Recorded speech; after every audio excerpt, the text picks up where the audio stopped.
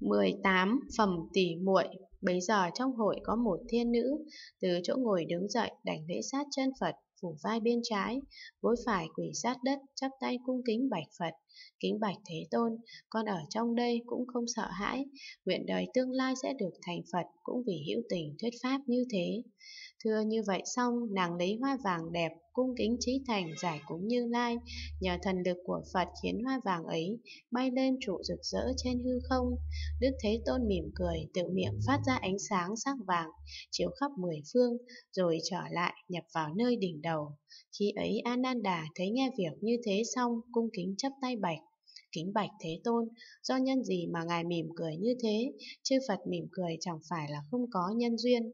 Thế Tôn bảo Khánh Hỷ, Thiên nữ này ở đời vị lai sẽ thành như lai ứng tránh đẳng giác, kiếp tên tinh dụ, Phật hiệu Kim Hoa. Khánh Hỷ nên biết thiên nữ này chính là thân nữ cuối cùng của nàng.